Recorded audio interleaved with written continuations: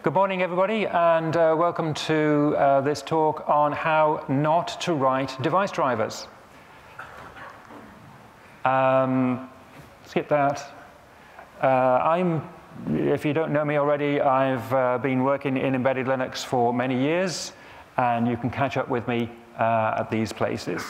But the important thing then is that today I want to be talking about uh, device drivers and how to do it in user space. So I'll begin by talking a little bit about uh, device drivers in kernel space, just to give the background. Uh, and then we'll talk about user space device drivers. And I'll follow up with some examples using GPIOs, pulse width modulation, and I2C.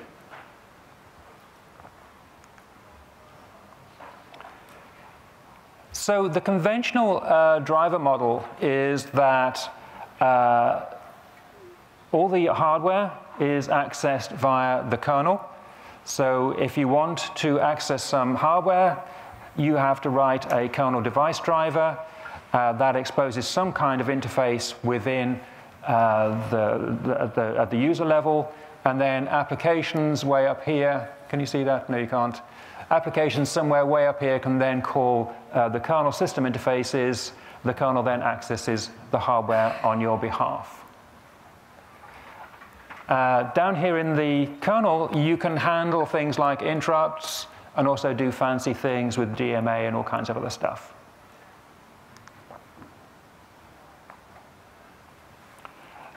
Uh, and then the interface between the kernel and the application is uh, well, basically through files. As we know, in Linux, everything is a file, uh, except network interfaces, which are sockets, but that's almost a file. So most of the time when you're writing user applications, you interact with the device, whatever it is, uh, via the POSIX function calls, I open, close, read, write, etc. And the files you are accessing are going to be uh, usually either device nodes, that's the stuff in the slash dev directory, um, or we can also expose attributes via the sysfs interface via slash sys, uh, whatever. So for example, um, we'll look at, at the moment in uh, the GPIO, and uh, you can access GPIOs through slash sys slash class slash GPIO. So this is the, uh, this is the normal way of doing things. So writing kernel uh, device drivers is a lot of fun. H hands up who has written device drivers for kernel before? Yeah, pretty much everybody. So, I mean, it's great fun. I really, really enjoy that. Um, but it is a little time consuming. Uh, you are working within a kernel environment, which is quite a lot different to uh, a normal programming environment. And it has the problem that if you introduce a bug in a kernel driver, then you can crash the entire kernel and bring the entire system to a halt. So bugs in kernel code are much more serious than bugs in user space.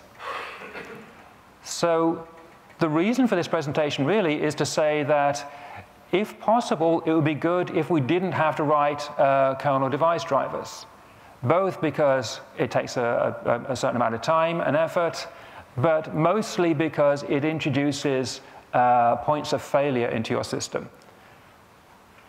So I want to encourage you when you are accessing hardware to think, can I do this from user space? Do I really need a kernel device driver to do this thing? If you can do it from user space, then do so. That is safer and easier um, for everyone.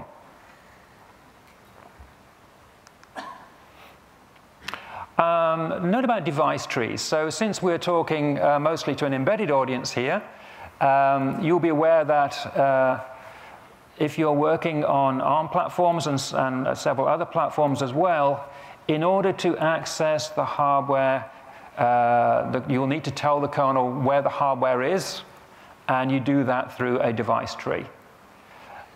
So as a part of this, but I'm not actually going to go into this because that's kind of too much uh, detail for this, uh, this session, but as part of this exercise, you still need to write uh, the device tree or the device tree overlay to give the kernel access to the particular bit of hardware you're trying to uh, get to.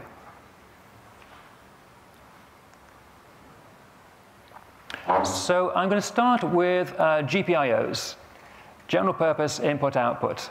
Um, so these are the most basic level of digital I.O. On, uh, on a system. There are a bunch of pins that we can configure for inputs and outputs. And as outputs, we can use them to control um, lights, relays, uh, we can control other chip selects, and various other things. And then as inputs, we can use it to read the state of a digital input, which could be a switch or a button or um, something else. And uh, when we read them as inputs, we can either read them in polled mode, we can just keep on reading the, the input uh, and see what it is, or uh, in most cases, on most modern SOCs, we can configure the GPIOs to generate an interrupt. And uh, the interfaces we're going to be looking at allow us to, uh, to wait for that interrupt so we don't have to keep on polling.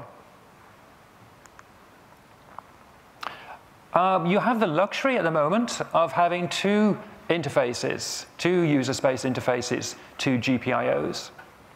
Uh, we have the old GPIO lib interface. Um, it's not a library, by the way, it's a kernel driver. Um, so GPIO lib has been around for quite some time. It exists as a sysfs uh, interface. The great thing about it is it's scriptable. It's just a bunch of files. You can write shell script or whatever to access those files. So it's nice and easy. But it has a few problems. Um, in particular, um, it doesn't handle interrupts particularly well. Uh, and there can be issues with if you want to change more than one in input or output at the same time.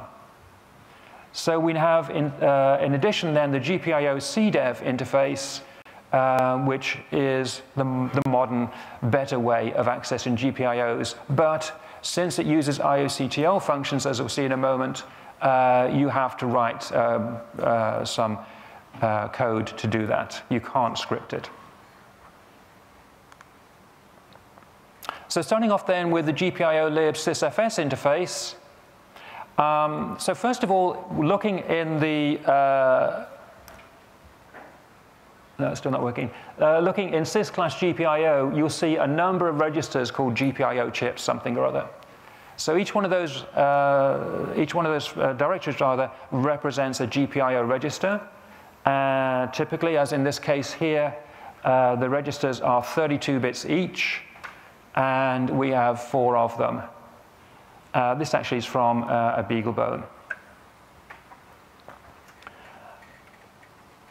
And we can then, uh, we have these two files called export and unexport.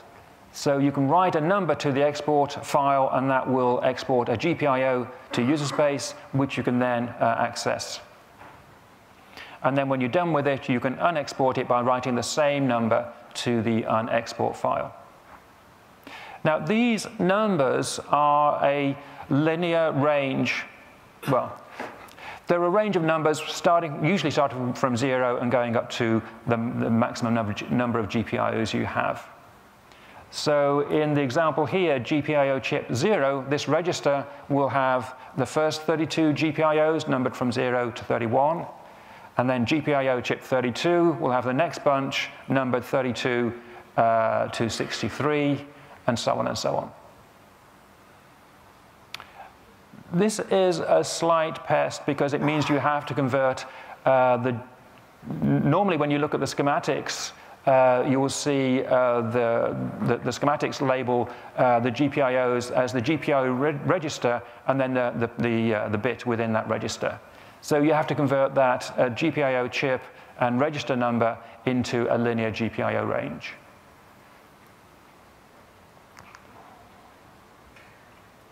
Uh, looking within the GPIO chip uh, directory, uh, you can see there are a bunch of files. The important ones are one called base, which tells you the first GPIO number occurring in this register. Uh, so we're looking at GPIO chip 0 on the, on the screen, so base will contain 0. Uh, NGPIO tells you how many GPIO pins there are in this register, 32 in this case. And then label is a arbitrary label uh, to identify this thing. And in the case of this particular SOC, you will see that it is just the name of the chip. It will be GPIO chip 0. So then if we want to export, um, say, pin 42, which would be the 10th pin on the second GPIO chip, uh, you just write 42 to the export file, and then you see that magically GPIO 42 has appeared as a subdirectory, assuming that's possible. If, if the GPIO is already being used by, for example, something within the kernel, then the export will fail.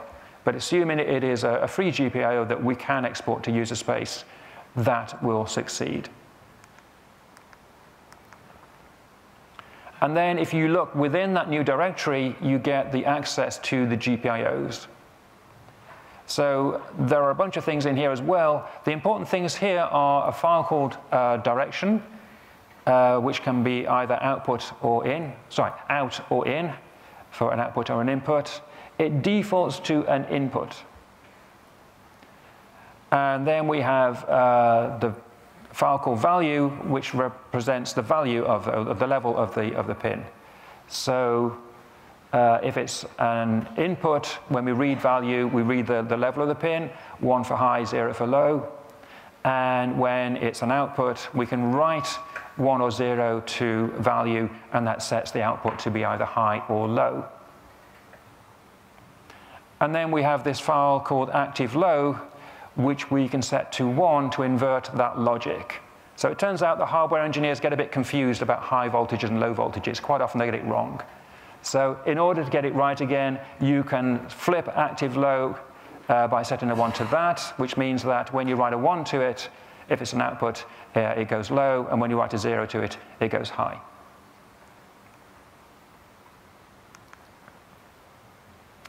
Okay, good. Uh, next thing, uh, interrupts. So if you want to monitor an input, um, you can just poll it, but that's inefficient. So if the GPIO hardware underneath can, uh, can uh, uh, generate interrupts on a level change, then we will have this extra file called edge, and we can write to that to indicate how we want to generate the interrupt. So edge can be none, meaning we don't generate any interrupts, or rising or falling, rise, uh, or, or both. So we can interrupt on a rising edge, a falling edge, or both of those. So in the example on the slide, I'm writing the string falling to uh, GPIO 60 slash edge. That will then give me an interrupt on a falling edge. And then, um, unfortunately, you can't uh, you can't use the interrupt mechanism from a script. You need to actually write a bit of code and you need to poll. And there's some examples on my website, but not on the slides, uh, which show you how to do that.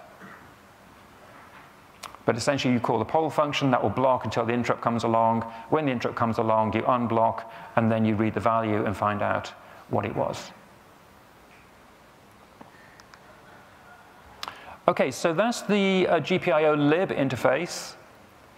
Uh, the GPIO CDEV interface uh, achieves uh, a similar thing, but using uh, nodes in slash dev. So when you enable this, you'll find that in slash dev, you have GPIO chip 0, 1, 2, 3, etc.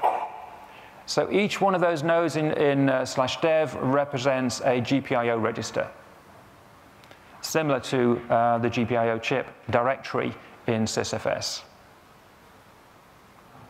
The difference then is that there are no subdirectories, so GPIO chip um, is a, uh, a, character node, character device node, and so it doesn't have a structure within it. You have to open it, and then you can use IOCTL functions to access uh, the pins. Why, so this is actually more complicated, it's more coding uh, to do simple things at least. What are the advantages? Well, first of all, it has the naming scheme uh, that's more accurately, accurately reflects uh, what you'll see on the schematic. So we name them now using the, the register, GPIO chip, 123, etc., and then we number the pins within that, exactly as you will see on the hardware diagrams. Um, and also, since we are treating the register as a single entity, you can actually do several transactions in one single function call. So we can set a number of bits, for example, uh, in one function call, and we can do that without glitching. Whereas with the uh, GPIO lib interface, you could only change one uh, input or output at a time. Sorry, you can only change one output at a time, I should say. Um, and the way it handles interrupts is a little, nicer as well. So I'm not going to go through every single uh, aspect of this because it's quite a complicated uh, programming interface. Um, so I'll just give a, uh, a, some demo code uh, that gives the basic idea. Uh, so this bit of code is going to be uh, writing to GPIO chip 1, um, pin 21, which is an LED if you have a BeagleBone Black. So the first lot is just uh, the various include files you need and uh, the variables. The interesting stuff is on the next slide. so here we open GPIO chip 1. Uh, the next line, we set the line offsets to be 21. Remember, that's the pin we wanted, 121. Uh, set the flags, so we want this to be an output because we're going to use it to control an LED. Uh, default values, so initially we're going to set it to zero. And consumer label, we can actually give a human readable string, uh, or at least a, a, meaningful string, a meaningful label to these GPIO pins, um, which helps with debugging and, and, and, such like. And then the last line, we have a uh, number of lines we want is one. So having created that uh, request structure, we then do the IOCTL, get line handle IOCTL. So this is a little bit of magic because this will return a new file descriptor, a new handle, if you like, for this request. So we can now use, uh, it actually uh, returns in, in the request structure in the FD field. So then if you look at the IOCTL down here, um, we are using that file descriptor then to change the state of this GPIO pin. Okay, and we could do this multiple times. We could uh, have uh, different file descriptors for different groups of, uh, of pins on this GPIO. And as you can see where we have line offsets up here, um, the fact it is line offsets is, is, is an array. So we can actually create a file descriptor handle which represents more than one pin. So as I say, we can then um, manipulate several pins in one go in a single function call, so we atomically change those outputs without any glitches. So it's a nicer interface from a technical viewpoint, uh, but there's a bit more coding involved to make it work. You can also, um, so the, the GPIO CDEV has an event mechanism which is tied into uh, the uh, GPIO interrupt mechanism.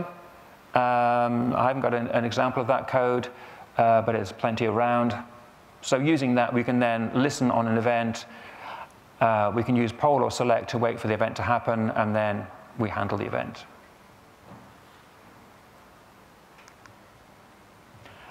Alrighty, so GPIO, that's the, that's the fun stuff.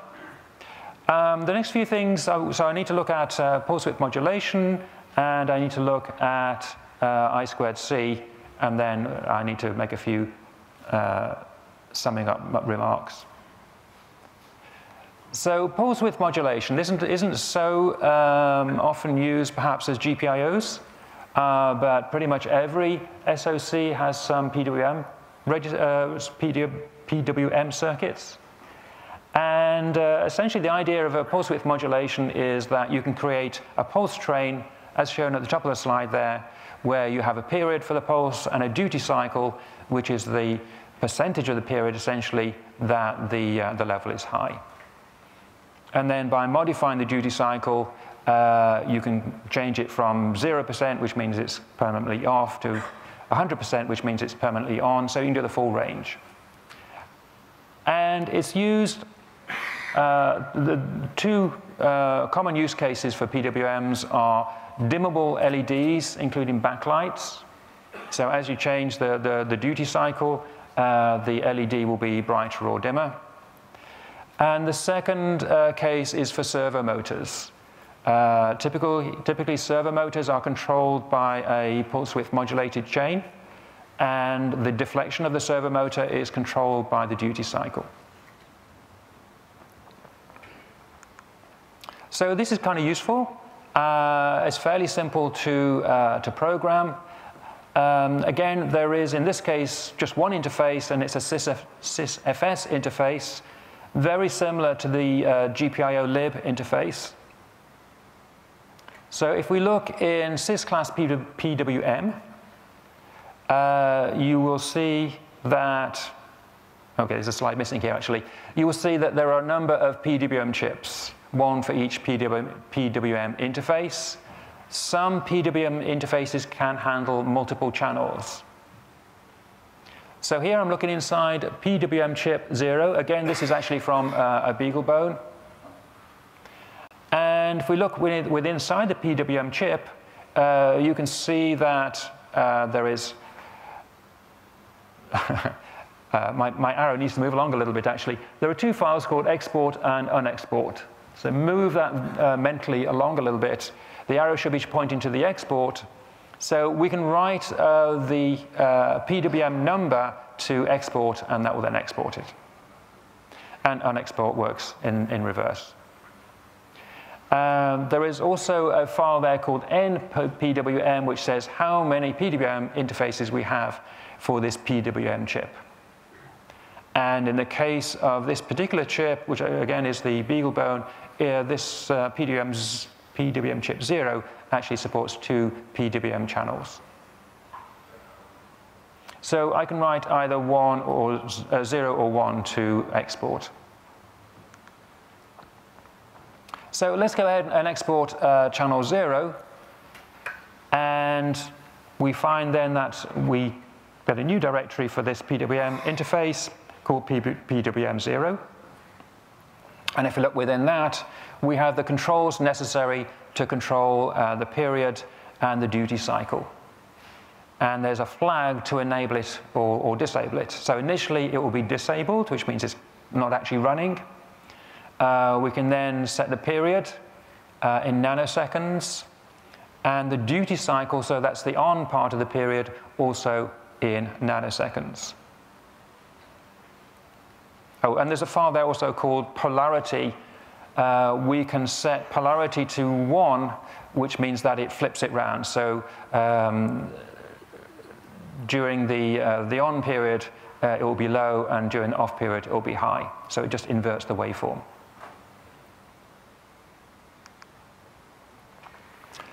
Uh, so we can do this from the command line or from a script. Uh, so in this case, supposing I want a PWM uh, with a one millisecond period and a 50% duty cycle. So uh, one millisecond turns out to be a million nanoseconds. So we write one million to the period, and we want it to be 50% on, 50% off. So we write 500,000 uh, nanoseconds to duty cycle. This means the thing will be yeah, half on and half off. And then we write one to the enable file, uh, and that sets the whole thing running.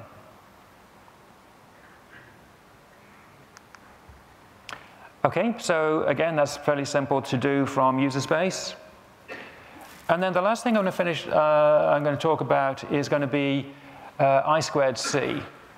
So this is uh, inherently more complicated.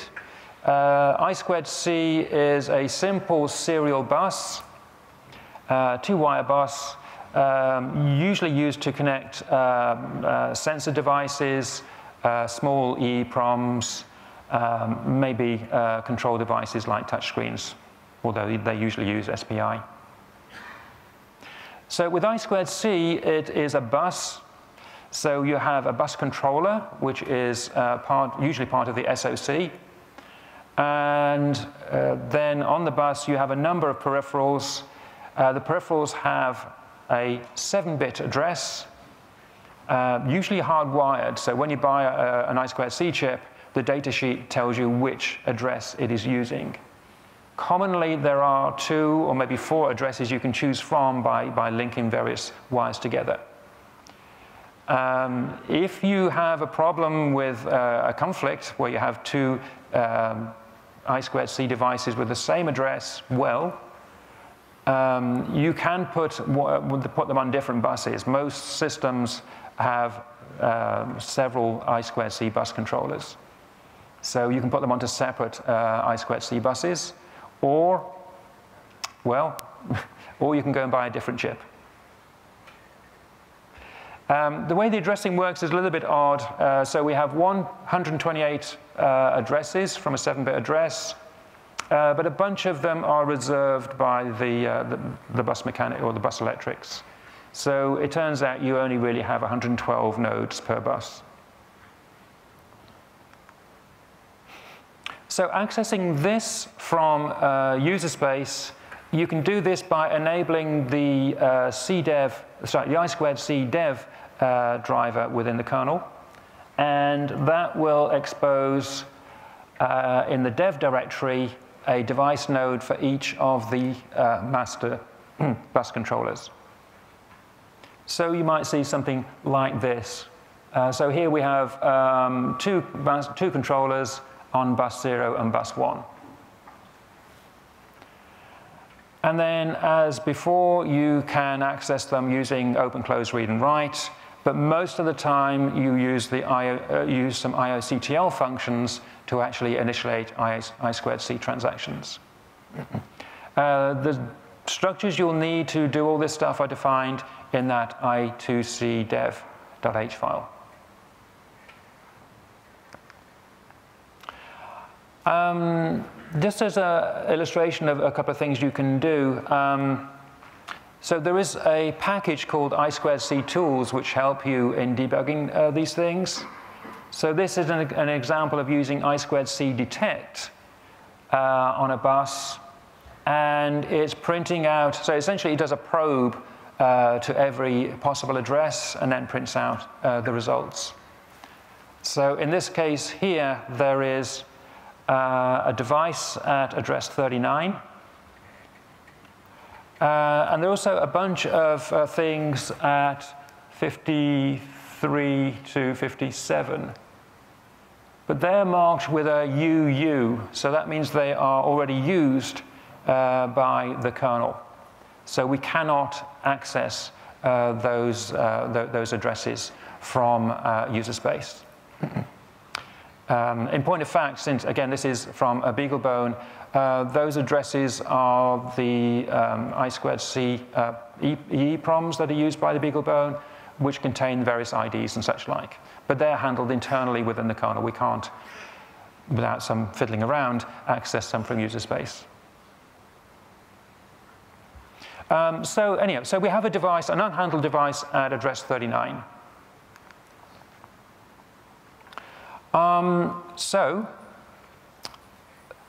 again, from the command line, we can use, uh, there's an I squared C get and an I squared C set uh, command. So we can use this for simple diagnostics and uh, simple use cases. So with I squared C get, we give it the bus we want to talk to, uh, the chip, chip address, and then the register on that chip. So in my example here, it turns out that the um, uh, the chip at uh, address 39 is actually a ambient light sensor, which I bought from Adafruit one time. Um, and reading through the data sheet from this, we can see that register 8A contains uh, the, uh, actually contains the ID.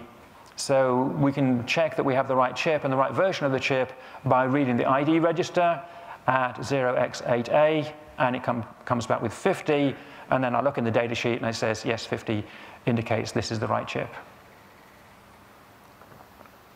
So we can use I squared C get uh, to read any 8-bit register.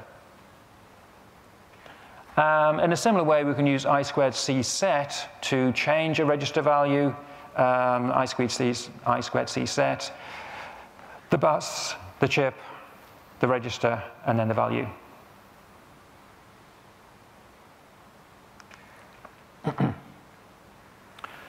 Um, if, so you can do a certain amount uh, using I squared C get and set.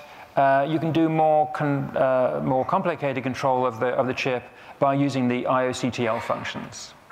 So we can use, um, oh, sorry, Th this example code here is showing how to read uh, a, oh no, sorry, we're writing register. Um, uh, say that again. So actually, the, the, this code is, is reading, so we're opening the, the bus I squared C dash one.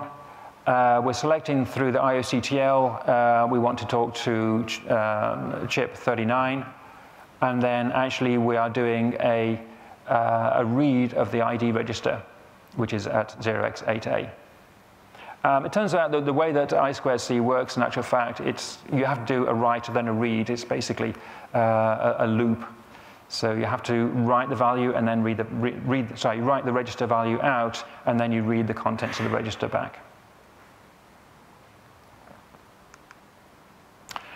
Alrighty, so there are three examples of systems of increasing complexity from GPIOs, which are comparatively simple, PWMs, slightly more simple, uh, slightly more complicated maybe, and then with I squared C, you can do quite complicated stuff, but again, doing it without having to touch the kernel.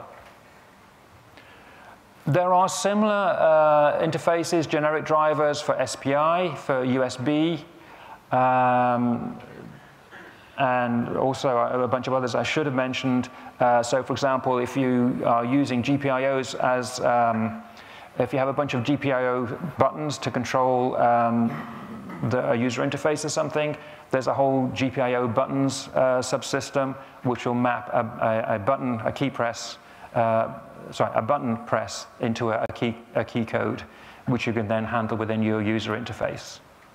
So we have GPIO buttons.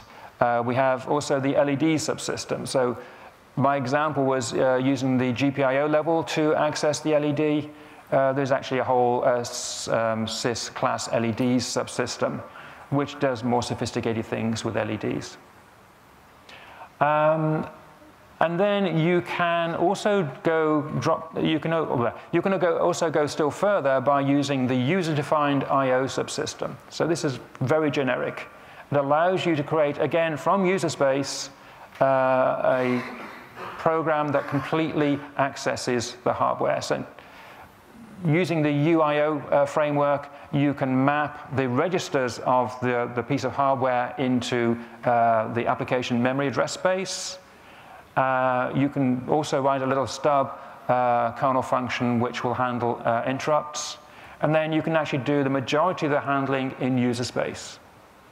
Um, so this is the, the main use case for this seems to be uh, FPGAs. If you have a, if you create an FPGA, you will inevitably be, be creating some kind of uh, interface uh, through that piece of hardware. And the simplest way to access, access that uh, from user space is to use the UIO subsystem uh, to access your bunch of registers that are exposed on the FPGA. What are you missing by not writing a kernel device driver? Um, so there are some things. There are, there are reasons that kernel device drivers exist in the first place. Um, there are uh, a couple of things to do with robustness and performance. Uh, so it is perhaps uh, a worry to you that if you are handling a uh, device from user space, uh, a user, user space program can be killed and terminated, whereas there's no way to kill or terminate a, a kernel device driver except by terminating the entire kernel, of course. So it is maybe smart, um, you could be uh, regarded as being more robust uh, to put uh, the code into the kernel for that reason. Um, also within the kernel, we have a lot of uh, sophisticated um, locking uh, techniques from spin locks, mutexes, read-write locks, and uh, the read copy write update uh, mechanism. So you can do, if you have uh, highly contended um, locking uh, scenarios, you can do those better in the kernel than you can in user space. Uh, and also you have more direct access, access to the hardware. So you can do fancy things with memory addresses and DMAs and such like. And then finally, and probably the, the biggest reason to write uh, kernel device drivers in the first place is that there are a whole bunch of subsystems within the kernel which you can just slot in another device driver to, to cover. So a simple example of this is the backlight, the LCD backlight. Uh, it's usually uh, a PWM channel that controls that. Um, so you could quite easily control it from user space using the PWM uh, user space mechanism we just talked about. But in fact, there is another subsystem, uh, the backlight subsystem, uh, which exposes a different user interface uh, via sysfs. and if you want to expose your uh, LCD backlight using that standard interface, you would have to write some kernel code to do that. Okie dokie, and that is everything I have to say on this subject right now. So we have a couple of minutes, uh, literally three minutes uh, spare for questions. So um, if you, if you uh, want to ask a question, can I encourage you to come and use the microphones here so that uh, the question is recorded on, the, uh, on the video that's been made. But yes, anybody have any questions or comments on uh, uh, not writing kernel device drivers? I'm afraid it's a long walk.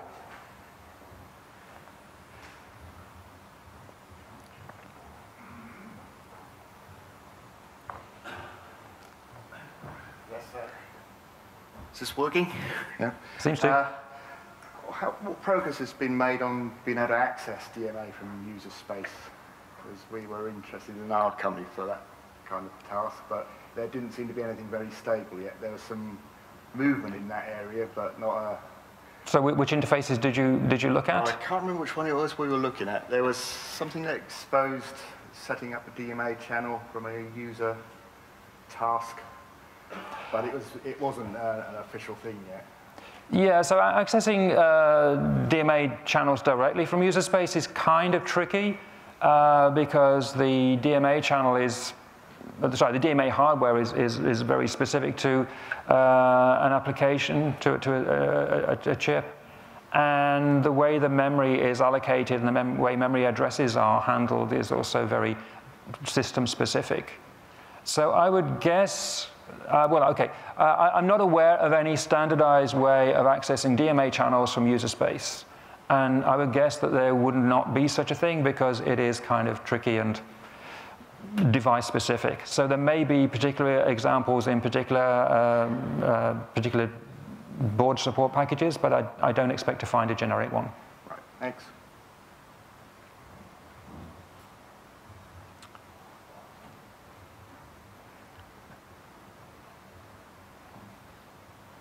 Okay.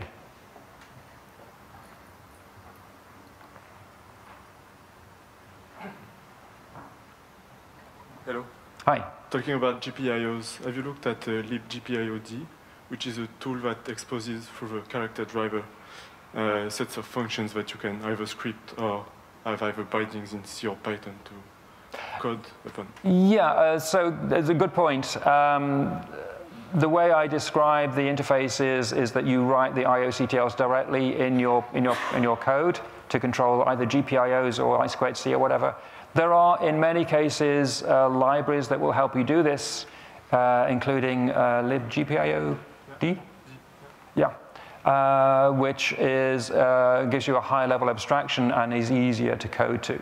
So in fact, I would actually recommend you would use uh, one, a library such as that.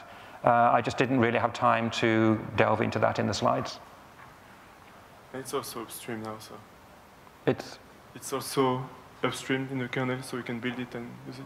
Okay, oh, cool, right, I didn't know that. Good.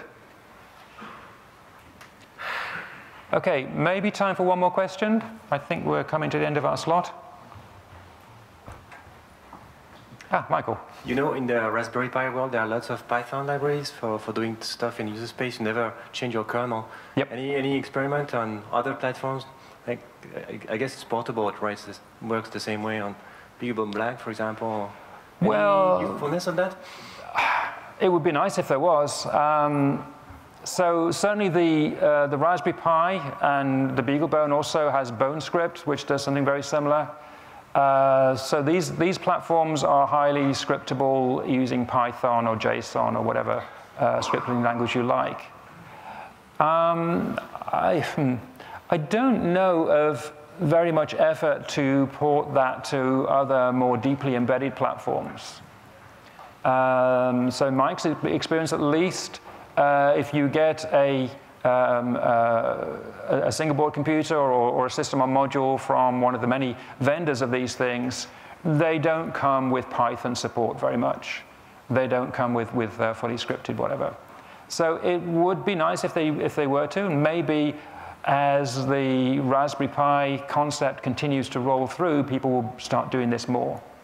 Um, but yeah, it would make the life, it would make our lives a lot easier if we could just write everything uh, in Python code.